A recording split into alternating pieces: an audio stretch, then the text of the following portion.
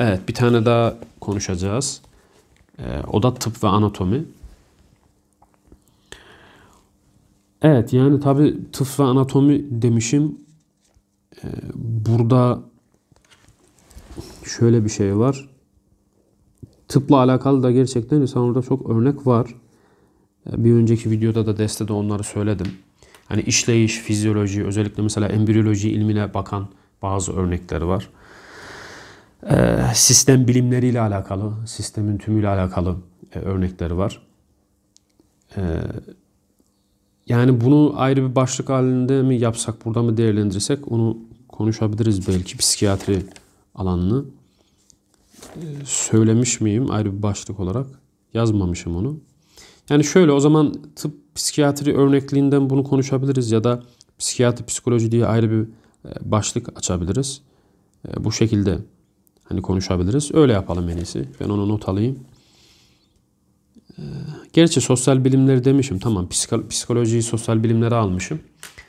Psikiyatri o zaman bu tıp altında değerlendirelim. Evet sevgili kardeşlerim yani Bediüzzaman Hazretleri bu fizyolojik mekanizmaları, biyokimyayı, bu tarz şeyleri embriyoloji mesela ilmi gibi o tarz ilim dallarının bilgisini sahip olan kişilerin daha anlayacağı metinsel düzlemlere sahip. Bunları da kullanıyor kitaplarında. Yani tıbbi anlamda genel çerçevede birçok şey e, kullanıyor.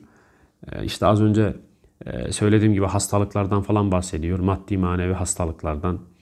E, işte gıda ile alakalı, beslenme ile alakalı hastalıklardan bahsediyor ki bu e, hastalıkların çoğunun hani beslenmeden olduğunu söylüyor. İbn Sina'dan orada e, bir nakil yapıyor. İşte üst üste yemenin, fasıla vermeden üst üste yemenin hastalıklara, e, işte obeziteye, birçok probleme sebep olacağını söylüyor ve sünnete muhalif olduğuyla hani bunu birleştiriyor, beraber e, ifade ediyor.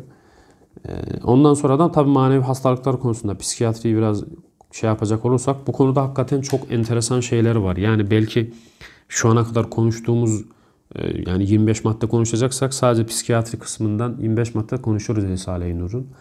E, Risale-i o e, manevi gelişim sağlama, kişisel gelişim sağlama, kalp ve ruhu arındırma gibi yöntemler gerçekten beyni, beyin fonksiyonlarını, beyin frekanslarını düzeltme gibi yöntemler gerçekten çok muazzam sistemler. Bunu okuya, okuyarak bizzat tecrübe edebilirsiniz. Bu alanda psikiyatri alanında materyal olacak birçok şey var. Yani beyni, beyin dalgalarını, e, ruhu, e, aklı, kalbi o dinginliğe, diğer latifeleri de besleyerek o, o dinginliğe ulaştırıyor ve iyi bir e, psikiyatrik tedavi sağlıyor. Bunu aynı zamanda hani maddi olarak da e, Risale-i Nur'da Bediüzzaman Hazretleri tavsiye ederek hem maddi hem manevi anlamda bu şekilde bir e, tıp felsefesi şeyini kendi eserleri içerisine koymuş.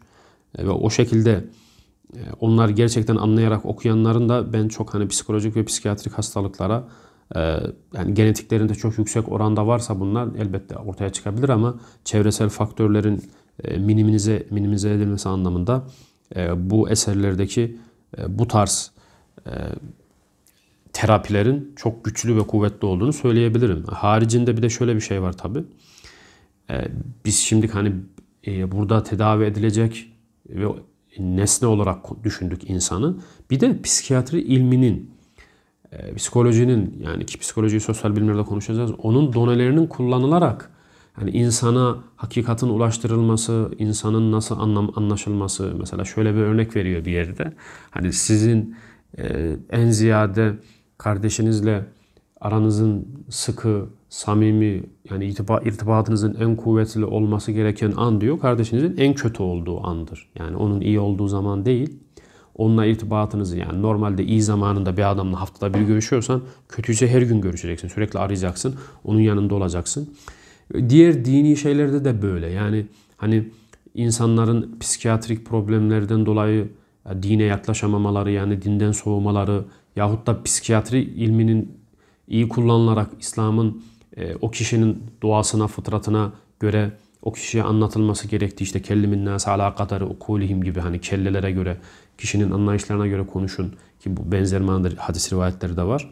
Bu şekilde o e, bilmin materyallerini kullandığını da görüyoruz sevgili kardeşlerim. Elhamdülillah.